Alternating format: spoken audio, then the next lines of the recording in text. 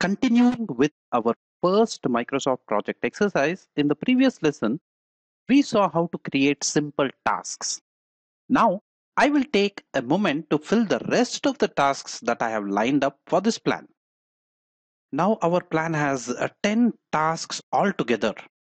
You can get all of these uh, docs from the exercise files and recreate this exercise. One simple thing to notice is that Microsoft Project highlights the changes made in the last step with this light blue color that you can see here. It is uh, nothing but a visual indication to you. This highlighting can be incredibly useful when you move on to complex projects that can be multiple screens or long and wide and changes in one part of the screen can affect various areas in your project. So this is a good thing to notice right from the beginning and keep an eye upon. Okay, before we proceed any further, I want to save this file. And to do that, I will first click on this file menu. Now, when you click on the file menu, you are led into an entirely different area of Microsoft Project.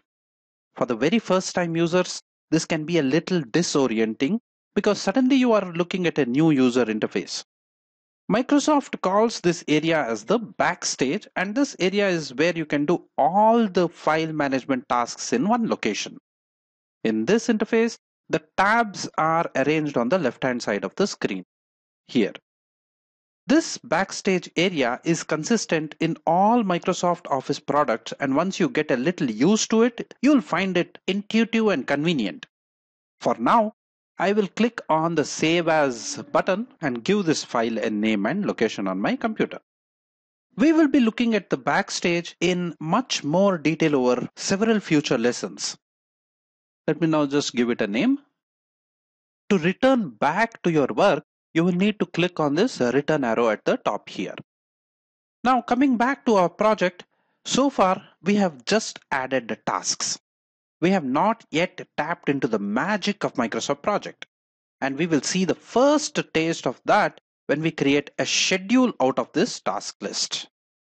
To do that, first select all the tasks by getting the mouse over to the corner here and selecting all the tasks together. Then in the ribbon menu, make sure the task tab is active. In this tab, you will find the schedule section here. And what we will use is this little button here with a chain icon. Its name is link the selected tasks and we will do precisely that. When you click on this button, voila, all the tasks have been automatically converted into a schedule. You can see that in the chart area here, a Gantt chart has been created which reflects our schedule. Now, all the tasks have been linked together. What that means is that any further editing to any of these tasks, like changing the duration or start or end date or adding new tasks, and project will automatically keep the overall schedule in shape automatically. Let me show a simple example by just changing the duration of the first task to 5 days and keep an eye here when I click enter and instantly you can see that project will recalculate everything else for your entire schedule. At the very high level, what you have seen now is the basic premise of using Microsoft Project. This is a very simple example and I will not be showing anything more complicated that real life projects will have in this example. We will move on to increasingly interesting examples step by step. But before we do that, in the next section, we will first go over some very fundamental concepts used in Microsoft Project. This will introduce you to terminology and concepts used by project and it will be very beneficial to new starters and veterans also to establish a common platform used in the rest of this course. So let's get going.